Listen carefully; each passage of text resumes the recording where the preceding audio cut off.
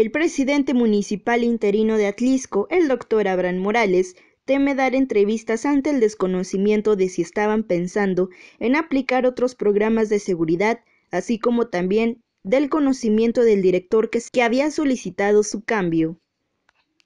ya que cabe mencionar que este medio de comunicación ha solicitado en tres ocasiones entrevista con el doctor. Sin embargo, el área de comunicación social ha informado que no es posible, por el momento hasta que se rectifique si Guillermo Velázquez presentará la gobernatura del estado por el partido PAN. Además de que en rueda de prensa que se han llevado a cabo han intimidado y poniéndolo nervioso ante los señalamientos en que se le menciona, como por ejemplo que ya se afilió definitivamente al PAN cuando era de Morena.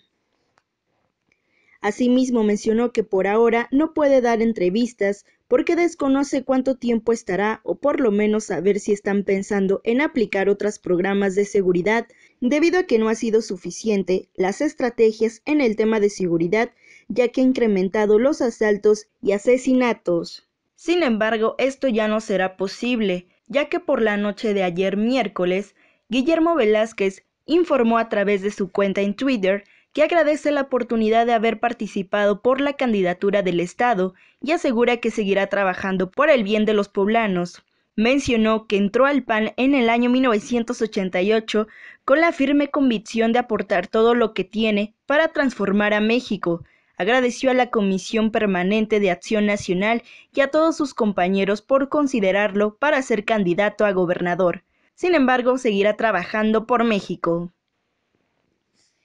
Ivana Tepepa, Contextos Noticias.